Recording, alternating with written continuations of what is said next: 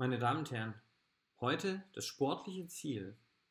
Alles, was Sie über Wahrscheinlichkeitsrechnung wissen müssen, in ein kurzes Video zu packen, das aber gar nicht den Anspruch hat, ähm, self-contained oder sozusagen allein komplett zu funktionieren. Ich glaube, die Wahrscheinlichkeitsrechnung profitiert davon, dass wir sie einmal relativ knackig technisch-mathematisch uns anschauen. Das würde hier geschehen im Video. Und dass sie das zum anderen ergänzen durch äh, schöne Beispiele, wie sie sie im Seminar bekommen und auch das äh, in der Hinsicht sehr, sehr gute Lehrbuch von Wirz und Nachtigall, was ähm, Ihnen auch zur Verfügung stehen sollte, beziehungsweise was Sie sich auf jeden Fall äh, zu Gemüte führen sollten. Im Band 2, der Band 2 eröffnet mit der Wahrscheinlichkeitsrechnung und der stellt auch die Basis äh, dessen dar, was ich Ihnen hier erzähle. Wenn wir heute über Wahrscheinlichkeit sprechen, dann ähm, müssen wir erstmal davon ausgehen, dass wir einen ähm, Zufallsprozess haben. Die Statistikerin, die, die, Stochastikerin, also die Wahrscheinlichkeitsrechnerin, meint mit einem Zufallsprozess einen ähm, Prozess, ähm, bei dem wir nicht genau wissen, was genau gleich passieren wird. Wir wissen aber, was alles passieren kann. Wir können diesen Raum als griechisch Omega bezeichnen. Omega äh, man nennt den tatsächlich Raum. Manchmal so ein Raum von Ereignissen, können Sie sich auch vorstellen wie ein Sack voller möglicher Ereignisse. Zum Beispiel beim äh, Würfelwurf könnte das sozusagen ein Ereignis A sein und ein Ereignis B.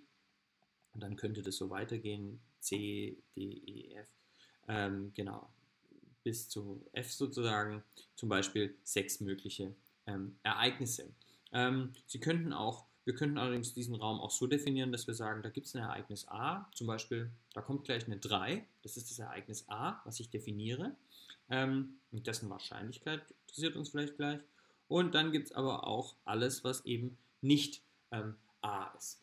Das, dieses kleine Präludium zum Zufall muss ich kurz vorneweg machen, weil wir uns sozusagen klar machen müssen, dass wir uns jetzt gleich für die Wahrscheinlichkeiten bestimmter Ereignisse interessieren. Und dass es immer wieder wichtig ist, sich zu überlegen, ähm, ein Ereignis, kann das eigentlich zusammen mit einem anderen Ereignis auftreten? Kann das, ähm, wir können in unserer Sprache schon sagen, kovariieren mit einem anderen Ereignis? Oder ist es nicht eher so, dass es vielleicht äh, disjunkt ist, wie hier gezeigt?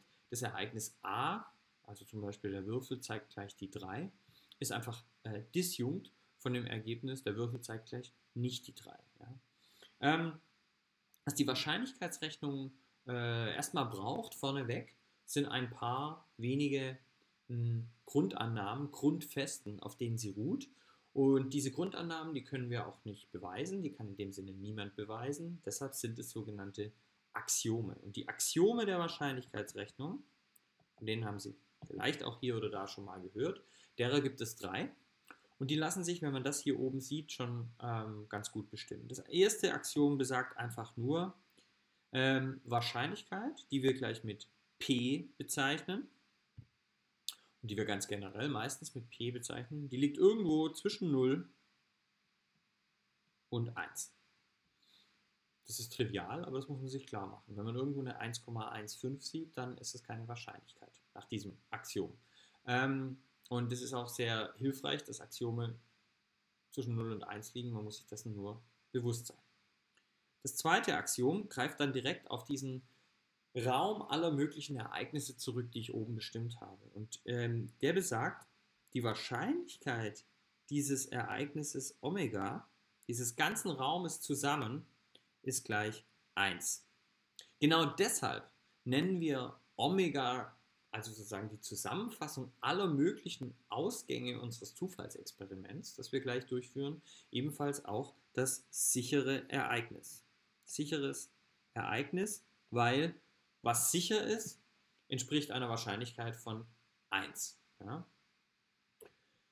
Und das dritte Axiom ist eigentlich auch schon die erste und einzige so richtige Rechenregel, auf der dann alles weitere ähm, fußt oder sich daraus eben herleiten lässt. Das ist die Eigenschaft eines Axioms. Und zwar besagt diese dritte Regel, wenn ich mir den Zusammenschluss oder ähm, die Union, wie wir, wie wir im Englischen vor allem Union vor allem sagen, zweier disjunkte Ereignisse angucke, dann entspricht das der Wahrscheinlichkeit von A summiert, also einfach addiert mit der Wahrscheinlichkeit von B. Ja? Ähm, das hier also die sogenannte Union, logisch, logisches Oder nennt man das auch, was ein bisschen komisch ist, was ja eigentlich ein Und sein soll. Aber es heißt, also entweder A tritt ein oder B tritt ein. Eins dieser beiden Dinge tritt ein und wenn das der Fall ist, dann darf ich die beiden einfach summieren. Das sind die drei Axiome, um die es uns ähm, geht. Aus diesem letzten ergibt sich im Übrigen, oder aus diesen zwei zusammen würde ich sagen, kann ich auch schon eine ganz weitere wichtige Eigenschaft im Kopf behalten, nämlich wenn, ich mache es jetzt mal mit A ähm, und äh, versus äh, A', also äh, nicht A, also zum Beispiel der Würfel zeigt gleich eine 3 oder der Würfel zeigt irgendwas anderes, nur keine 3. Ähm, wenn mich solche Fälle interessieren, dann ist es auch sehr, sehr sinnvoll, aus diesen Axiomen heraus gleich zu wissen, dass also die Wahrscheinlichkeit eines Ereignisses immer auch gleich 1 minus ähm, sein Komplement sozusagen ist. Ja? Also nicht A. Das ist ähm, ganz wichtig und das werden wir sicher auch hier oder da noch manchmal ähm, verwenden. Wenn ich jetzt sage, ähm, mal kurz gucken, wie ich hier am, am schnellsten weiterkomme zu einem neuen, äh, Canvas, durch, durch, durch. Kann ich denn hier am schnellsten einfach einen neuen Screen machen? Dann haben wir das einfach mal so. Ähm, ich kann also jetzt mir nochmal kurz, das ist vielleicht wichtig, sich das nochmal anzuschauen, den Ereignisraum Omega, den kann ich mir einfach immer wie so ein Spielfeld vorstellen. Und auf diesem Spielfeld gibt es bestimmte Ereignisse, die man in so einem sogenannten Venn-Diagramm dann darstellen kann. Man könnte zum Beispiel sagen, das Ereignis A ist das. Das Ereignis nicht A, ich weiß gar nicht, ob ich es jetzt mal einzeichnen soll, ich kann es ja mal kurz einmal kurz machen. Das alles hier wäre das Ereignis nicht A. Ja, kann man sagen, entweder A oder nicht A. Ähm, mache ich aber wieder weg und male uns stattdessen weil spannender für fast alles, was wir ausrechnen wollen, ein Ereignis B hier ein. Mache nur einmal mit einer anderen Farbe, das werde ich nicht ganz durchhalten können. Ein Ereignis B, das, sehen Sie das, jetzt eben nicht disjunkt ist von A, sondern die formen hier gemeinsam so eine sogenannte Schnittmenge. Und ähm, diese Schnittmenge, die bezeichnen wir, das ist natürlich auch mit die wichtigste Bezeichnung, äh, als dann logisches und. Ähm, hier A geschnitten mit dann dieses umgedrehte U geschnitten mit B. Das ist die Schnittmenge und von der wird noch sehr viel zu sprechen sein, denn auf der fungieren, äh, auf der basieren dann äh, vieles dessen, was wir im Weiteren noch ausrechnen wollen. So, nächstes Blatt. Ähm, welche Rechenregeln müssen wir denn kennen, wenn wir Rechenregeln, wenn wir tatsächlich mit Wahrscheinlichkeiten rechnen wollen? Ähm, ich traue mich mal zu sagen, dass die wichtigste Rechenregel, die man können muss, die sogenannte Multiplikationsregel ist oder auch äh, Chain Rule. Die Multiplikationsregel oder Product Rule im Englischen oder Chain Rule besagt ganz ähm, allgemein diese soeben gezeichnete Schnittmenge, das logische und aus zwei möglichen Ereignissen, die eintreten können, ergibt sich als, Achtung, jetzt führen wir gleich das nächste Spannende ein, ergibt sich als bedingte Wahrscheinlichkeit, huch, was ist denn eine bedingte Wahrscheinlichkeit? Mache ich hier erstmal so einen Strich und müssen wir gleich mal besprechen, was das ist. Als bedingte Wahrscheinlichkeit von der Wahrscheinlichkeit von B, wenn A sicher vorliegt, das kann man sich so ein bisschen vorstellen wie erstmal wie eine Verkleinerung dieses ganzen Ereignisraumes. Also, also wir sind auf jeden Fall schon mal in dem Kreis von A. A ist sicher, deshalb steht es hier hinter diesem Strich. A ist gesetzt. A steht nicht mehr äh, zur Disposition. Aber wir fragen dann, wie wahrscheinlich, wenn wir uns also in diesem, in diesem Raum, Subraum von A bewegen, A ist sicher, wie wahrscheinlich ist dann, dass dann B eintritt? Das ist eine sogenannte bedingte Wahrscheinlichkeit. Und diese bedingte Wahrscheinlichkeit, die muss ich Achtung, ein Ausdruck, den ich auch sehr oft schon verwendet habe, auch in dieser Vorlesung schon, die muss ich gewichten mit der Wahrscheinlichkeit. Ich kann auch sagen, wir könnten jetzt eigentlich auch gerade sagen, mit dieser Größe oder Fläche dieses A-Kreises. Ja? Also wenn Sie nochmal äh, kurz ein bisschen zurückspulen, ich kann das vielleicht auch machen, hier hatten wir es gerade gesehen, wenn wir sagen, ähm, uns interessiert eigentlich diese Schnittmenge hier, ja, kannst ja hier auch nochmal hinschreiben, das gleiche, was ich gerade auf dem anderen Slide geschrieben habe. Wenn uns das interessiert, dann kann ich sagen, ich nehme die bedingte Wahrscheinlichkeit von b gegeben a, das ist sozusagen diese Fläche hier, aber die habe ich jetzt nur bis jetzt nur ausgedrückt als Anteil an a. Und um zu wissen, was das wirklich wert ist, also wie, wie groß die Wahrscheinlichkeit wirklich ist, muss ich sie eben nochmal skalieren, gewichten mit der Wahrscheinlichkeit äh, von a. Also mit wie viel Fläche des ganzen Ereignisraumes nimmt denn a überhaupt ein? Dazu müssen wir jetzt auch vielleicht einfach mal kurz ein Beispiel machen. Man muss mal kurz einfach sagen, was könnte denn das jetzt zum Beispiel sein?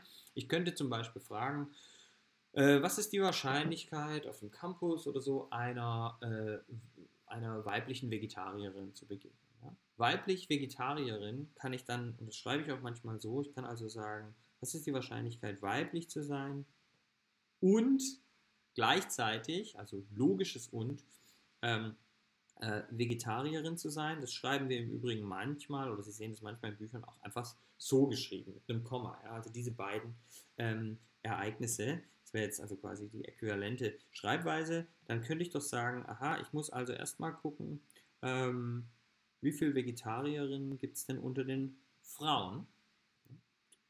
Schnittmenge angucken, gegeben, dass wir uns in einem dieser Kreise schon bewegen. Und dann muss ich den aber gewichten mit der Wahrscheinlichkeit dieses Kreises. Also zum Beispiel, wie viele Frauen gibt es denn überhaupt? Was ist die Wahrscheinlichkeit einer Frau zu begegnen? Ja? Warum heißt das ähm, Multiplication oder Chain Rule? Das kann man sich überlegen, wenn man zwei Ereignisse hat, die eben nichts miteinander zu tun haben. Frau sein, Vegetarier sein mag oder mag nichts miteinander zu tun haben. Wir nehmen aber mal ein Beispiel, wo wir uns schneller darauf einigen können, dass sie wirklich nichts miteinander zu tun haben. Nämlich, wenn ähm, A wirklich unabhängig ist, dann macht man manchmal auch so ein Orthogonalzeichen. Äh, äh, wenn A wirklich orthogonal zu B ist, dann verkürzt sich nämlich diese Formel da oben auf interessante Weise. Dann passiert nämlich folgendes, wenn ich dann frage, was ist die Wahrscheinlichkeit, ähm, zum Beispiel, was ich hier gerne mache, ist A, könnten wir sagen, ist ähm, äh, ein Junge zu sein und B wäre blond zu sein. Ja? Ähm, wenn ich das so hinschreibe, würden Sie mir zustimmen, das hat wahrscheinlich nichts miteinander zu tun. Blonde Menschen gibt es bei Männern und Frauen genauso. Also vielleicht sind die beiden Sachen unabhängig. Wenn sie unabhängig sind und wir suchen trotzdem nach der Wahrscheinlichkeit, da draußen einem blonden Jungen zu begegnen, dann verkürzt sich dieser Ausdruck. Ja, erstmal können wir ihn genauso hinschreiben. Wir können sagen, also was ist die Wahrscheinlichkeit, blond zu sein, wenn du ein Junge bist? Gewichtet mit der Wahrscheinlichkeit, ein Junge zu sein. Und jetzt kommt was aber was sehr, sehr Wichtiges hier herein. Wenn zwei Dinge unabhängig sind, dann gilt also erstens das, es gilt aber zweitens auch die Wahrscheinlichkeit, ich schreibe das mal hier hin, die Wahrscheinlichkeit von b gegeben a, wenn a und b unabhängig sind, ist unverändert zur Wahrscheinlichkeit gegeben b.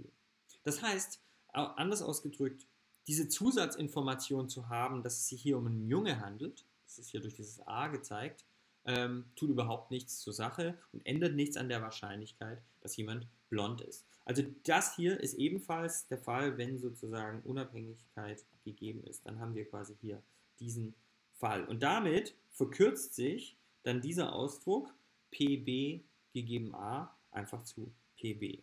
Ja, also vielleicht machen wir das hier äh, nochmal. Ähm, wir sagen, passen Sie auf, eigentlich machen wir das anders. Wir können das hier oben einfach mal wegmachen und können sagen, wenn,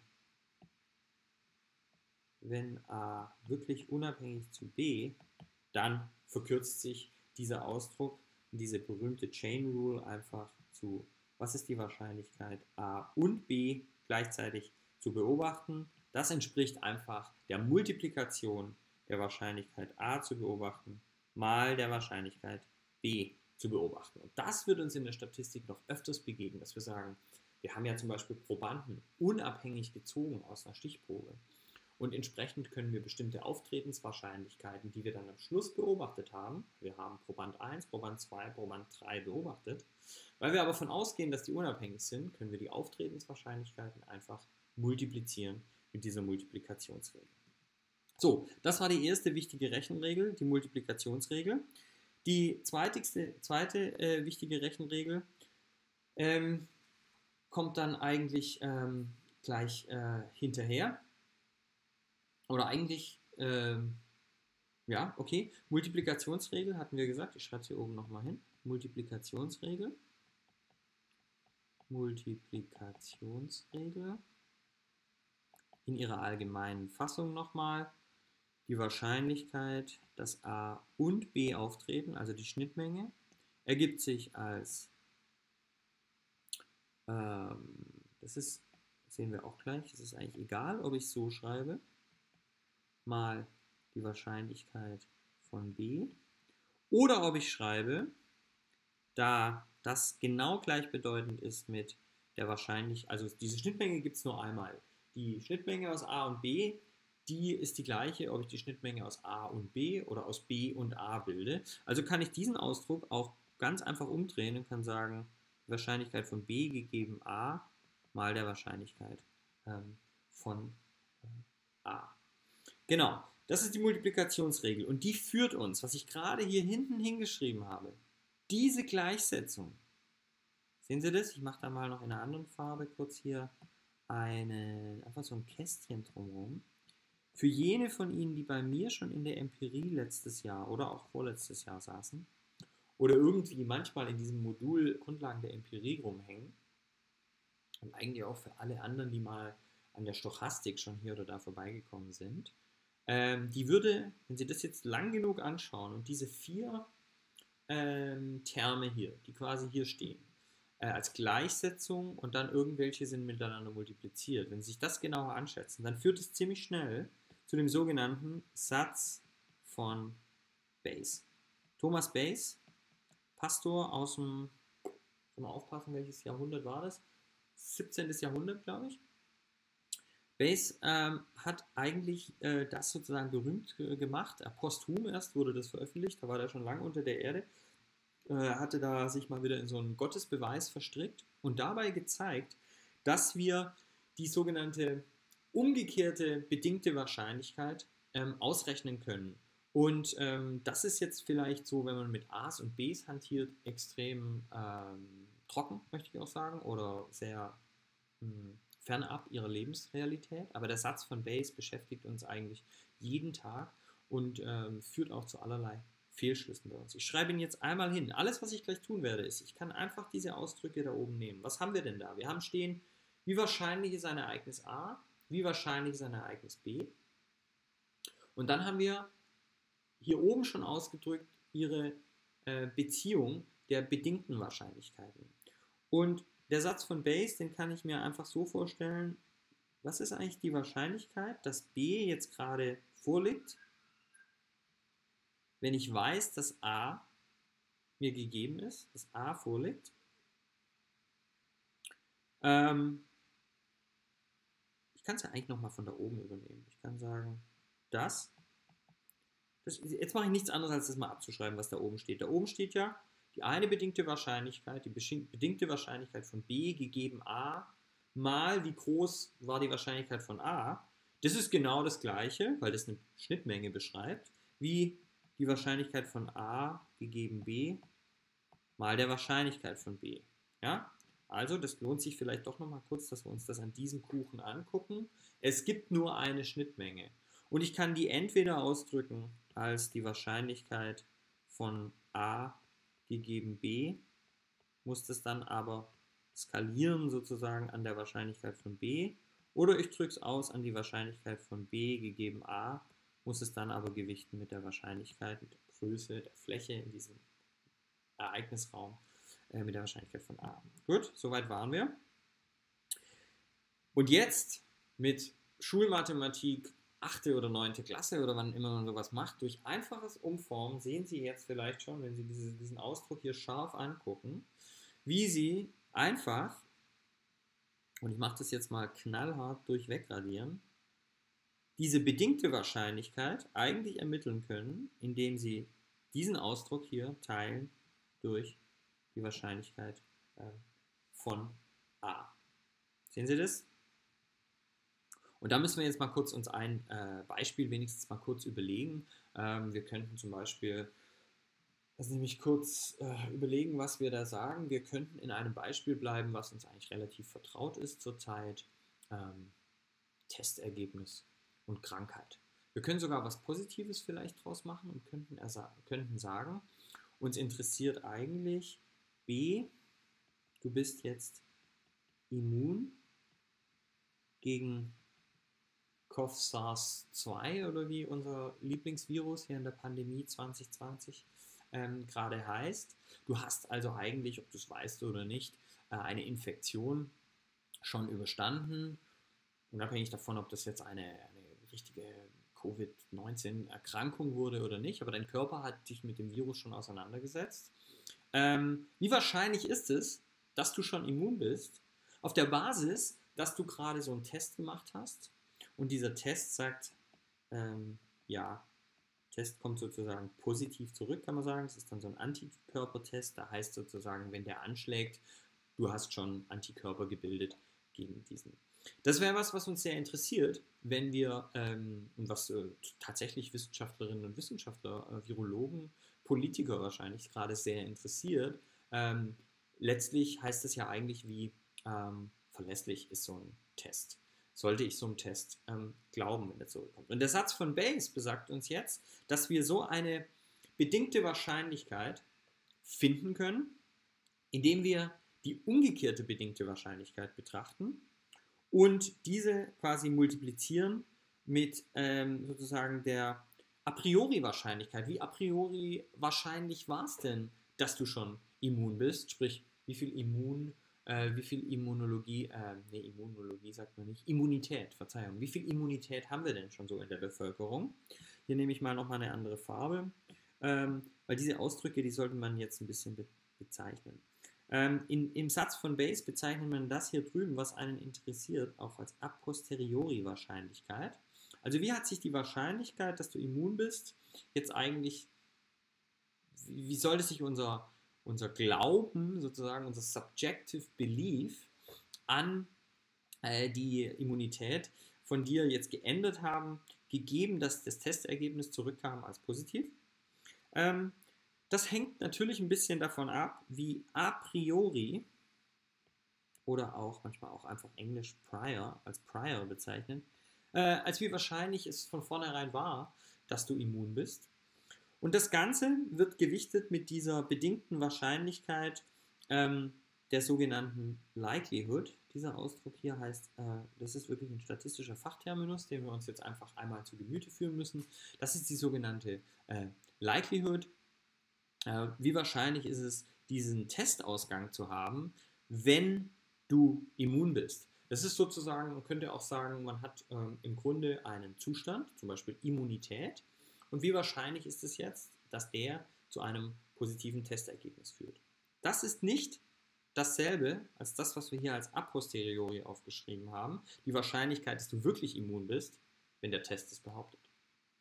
Ähm, und wegen dieser Gleichsetzung, die wir hier oben rechts im Eck haben, muss es eben so sein, dass die genaue Wahrscheinlichkeit erst stimmt, nachdem wir hier unten noch ähm, für die sogenannte Marginal oder auch Randhäufigkeit oder auch totale Häufigkeit ähm, des ähm, äh, Ereignisses A ähm, kontrolliert haben, indem wir hier dadurch teilen. Wir können auch sagen, diesen Ausdruck hier oben, den äh, skalieren wir wiederum an äh, dieser sogenannten äh, Marginal äh, Probability oder an der, an, der, an der Wahrscheinlichkeit von A. Und das, was wir hier sehen, es ist der Satz von Bayes, der wird uns auch noch sehr beschäftigen. Ich kann an der Stelle wieder noch einmal mein Lieblingsbeispiel hier hinschreiben. Es ist natürlich wichtig zu bedenken, dass die Wahrscheinlichkeit, dass meine Hypothese wahr ist, gegeben ein paar Daten, die ich beobachtet habe, ähm, nicht unbedingt gleich der Wahrscheinlichkeit der Daten ist, wenn die Hypothese ist, sondern die spielt schon eine Rolle, es hat damit schon was zu tun. Natürlich ist es schon so, dass die Wahrscheinlichkeit der Daten, also bestimmte Daten zu beobachten, wenn die Hypothese wahr ist, das hat damit was zu tun, aber damit es ganz genau hinhaut, muss ich das mit einer a priori Wahrscheinlichkeit der Hypothese multiplizieren. Wie wahrscheinlich ist es denn eigentlich, dass meine Hypothese wahr ist? Und das ist natürlich, kann natürlich sehr unterschiedlich sein, abhängig davon, äh, was für die Hypothese lautete. Ähm, ich mache jetzt kein Beispiel, ob das irgendeine Quatschhypothese war oder ob das eine sehr sowieso sehr naheliegende ähm, Common Sense-artige Hypothese war. Und das Ganze muss ich dann teilen, und das sehen wir auch, können Sie sich jetzt schon vorstellen, dass das irgendwie oft das Schwierigste ist, durch die Wahrscheinlichkeit der Daten. Also unter allen möglichen Hypothesen wie können, wie wahrscheinlich ist es überhaupt unter allen möglichen denkbaren Hypothesen, dass diese Daten zustande kommen? Und das, was Sie hier unten sehen, wird uns eben in der Inferenzstatistik sehr stark noch begleiten. Ähm, und das ist natürlich, wenn Sie genau aufgepasst haben, während ich gerade geredet habe, die letzten zwei Minuten an diesem Beispiel und das mit dem A und B jetzt immer verglichen haben, das ist natürlich der Satz ähm, von Bayes. Und wir sehen hier auch nochmal, nur wenn für den unwahrscheinlichen Fall, dass die Wahrscheinlichkeit, die Daten zu beobachten, gleich der Wahrscheinlichkeit wäre, die Hypothese, dass die Hypothese wahr ist. Zwei Dinge, die haben erstmal überhaupt nichts miteinander zu tun. Aber wenn die zufällig die gleiche Wahrscheinlichkeit hätten, dann würde sich das hier wegkürzen, wie Sie sehen, und es würde dann tatsächlich gelten, die Wahrscheinlichkeit, dass die Hypothese wahr ist, gegeben irgendwelche Daten, ist gleich der Wahrscheinlichkeit der Daten, gegeben die Hypothese ist wahr. Ähm, was Sie hier sehen, ist also der Satz von Bayes, der sich eben, wie wir gerade gesehen haben, auch schon einfach aus der Multiplikationsregel ergibt. Und mit dem sollten Sie rechnen können und zudem machen Sie auch einige Beispiele. Ähm, wir haben hier jetzt im Satz von Bayes aber schon gesehen, dass es oft ein bisschen ein Problem sein kann, hier unten diesen, äh, diesen Ausdruck, die Wahrscheinlichkeit des Ereignisses A äh, zu bekommen. Das liegt uns oft gar nicht so ähm, einfach vor. Und das führt uns quasi direkt zum, ähm, zum dritten und wichtigsten, ähm, na nicht wichtigsten, aber zum dritten, ähm, zur dritten Rechenregel, die wir uns anschauen wollen, nämlich dem Satz der totalen ähm, Wahrscheinlichkeit. Ich kann es hier auch nochmal hinschreiben. Satz der totalen Wahrscheinlichkeit. Das klingt ein bisschen ähm, bombastisch, zu total heißt aber in dem Fall nichts anderes als die ganze oder auch zusammengesetzt. Okay? Und alles, was der Satz uns besagt, ist letztlich eine Möglichkeit, äh, dann eine ähm, Wahrscheinlichkeit zusammen zu puzzeln, kann man auch sagen, die uns eigentlich nicht gegeben ist. Wir hatten ja also beim Satz von Bayes gesagt, eigentlich interessiert uns ähm, vielleicht ähm, so eine umgekehrte bedingte Wahrscheinlichkeit. Und dann hatten wir gesagt, dann sollten wir auf jeden Fall die wiederum bedingte Wahrscheinlichkeit des Zustandekommens, zum Beispiel der Daten A, unter der Bedingung von B, also gegeben, dass B wahr ist, haben. Wir müssten das mit so einer a priori Wahrscheinlichkeit multiplizieren, aber dann eben teilen durch die Wahrscheinlichkeit von a, diesen Marginal. Und der Satz der totalen Wahrscheinlichkeit kann uns hier helfen, das äh, zu lösen. Kurz gesagt, sagt der Satz der totalen, der totalen Wahrscheinlichkeit, ähm, wenn du ein Ereignis B, nenne ich das mal vorneweg, nur in seinen Teilen sozusagen ähm, vorliegen hast, dann kannst du die gesamte Wahrscheinlichkeit rekonstruieren, indem du sagst, die Wahrscheinlichkeit von b ist eigentlich jeweils, Achtung, und jetzt kommt wieder einer unserer Lieblingstricks, nämlich der Trick einer gewichteten Summe. Mal wieder, wir machen eine gewichtete Summe. Was zeichnet eine gewichtete Summe aus, werden Sie fragen? Eine gewichtete Summe braucht ein Summenzeichen und dann brauchst du irgendwie irgendwas, was summiert wird, aber bevor das summiert wird, muss das noch mit etwas anderem gewichtet werden. Was ist dieses andere? Wir würden sagen, wir haben von ähm, B offensichtlich noch nicht die gesamte Wahrscheinlichkeit, sondern wir haben nur solche Teilwahrscheinlichkeiten. Zum Beispiel könnten wir sagen, wir bleiben nochmal in dem Beispiel mit äh, Geschlecht und Haarfarbe. Wir könnten sagen, weil B so schön für blond steht, könnten wir sagen, was ist eigentlich die Wahrscheinlichkeit, blond zu sein? Ja, unter äh, Kindern zum Beispiel oder so, unter Kleinkindern oder so. Was ist die Wahrscheinlichkeit, blond zu sein? Also das Ereignis B wäre sozusagen blond. Dann kann ich sagen, ich schaue, wie viele Mädchen sind blond. Das wäre sozusagen die bedingte Wahrscheinlichkeit, blond zu sein, wenn man ein bestimmtes Geschlecht hat. Hm. Ich mache das jetzt hier in diesem Fall, weil wir immer mit A und B gearbeitet haben, mal mit, ähm, mit A auf die Gefahr hin, dass sie das äh, besonders äh, verwirrt. Und zwar eine Ausprägung dieser anderen Variable, in dem Fall wäre das zum Beispiel das Geschlecht. Ähm, und diese Ausprägung, die hat vielleicht auch eine bestimmte, oder die hat sicher eine bestimmte Wahrscheinlichkeit.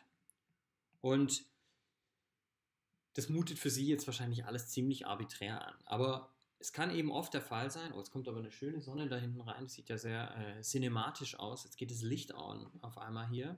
Wir sehen auf einmal, wir haben schon wieder eine gewichtete Summe aus bedingten Wahrscheinlichkeiten, äh, gewichtet mit den Wahrscheinlichkeiten sozusagen, hm, die uns hier bedingt haben. Den Trick haben wir vorhin schon mal verwendet. Den, äh, wenn Sie zurückgehen zu den Rechenregeln, zur Multiplikationsregel, da haben wir den gleichen Trick gehabt. Da hatten wir gesagt, eine Fläche B ist sozusagen vielleicht beschränkt auf, ähm, ups, was ist jetzt hier los? Achso, ich bin gerade falsche Schriftfarbe. Ist vielleicht beschränkt auf einen Anteil A, J, gleich 1 zum Beispiel. Und was hier so aussieht wie ein Fußballfeld. Und auch noch auf eine andere Ausprägung, AJ gleich 2 zum Beispiel. Und dann habe ich hier drin also sozusagen die bedingte Wahrscheinlichkeit äh, von b gegeben, dass AJ gleich äh, 1 ist. Und hier drüben die bedingte Wahrscheinlichkeit von b gegeben, dass AJ eigentlich gleich 2 ist. Ja? Und wir machen jetzt hier in dieser Gewichtung quasi wieder denselben Trick wie immer bei einem gewichteten Mittel. Ähm, und wie wir es auch vorher in der, in der Rechenregel, der Multiplikationsregel äh, gesagt haben, eine bedingte Wahrscheinlichkeit wird quasi gewichtet mit der ähm, Wahrscheinlichkeit ähm, dieses bedingenden ähm, Faktors hier, wenn man so will. Und diese Zusammensetzung führt dann also dazu, dass ich dann einfach diese Teilmengen oder diese Teilwahrscheinlichkeiten, also diese, was man hier so als so, so halbe, halbe Kuchen sieht, aufsummiert und so die Wahrscheinlichkeit, die zusammengesetzte oder die totale Wahrscheinlichkeit von B erhält. Um im Beispiel zu bleiben, kann ich also fragen, was ist eigentlich die Wahrscheinlichkeit, blond zu sein, wenn du ein Junge bist? Und das muss ich irgendwie addieren mit der Wahrscheinlichkeit, blond zu sein, wenn du ein Mädchen bist, was das gleiche ist wie äh, in dem Fall jetzt einfach mal nicht Junge zu sein. Damit hätte ich sozusagen den ganzen Raum der möglichen Ausprägungen dieser zweiten Variable hier äh, abgedeckt. Ja? Also diese zweite Variable a kann jetzt nur die Ausprägung Junge oder Mädchen annehmen. Und dann muss ich das eben jeweils hier noch gewichten mit der Wahrscheinlichkeit überhaupt einen Junge anzutreffen und das mit der Wahrscheinlichkeit überhaupt ein Mädchen anzutreffen. Und wenn man dafür mal einfach kurz ein paar Zahlen erfindet, damit wir das hier auch mal gemacht haben, könnten wir ja sagen, die Wahrscheinlichkeit, blond mal Junge zu sein, wäre vielleicht einfach 40% also 0,4, also 0,4, 40% aller Jungen sind blond. Plus, ähm, sagen wir mal, aber ein Mädchen ist es unwesentlich mehr. Sag mal, da sind es dann halt irgendwie. Äh, oh, jetzt wollten wir hier gar kein, das gar nicht mehr so machen. Ähm, 50 Prozent.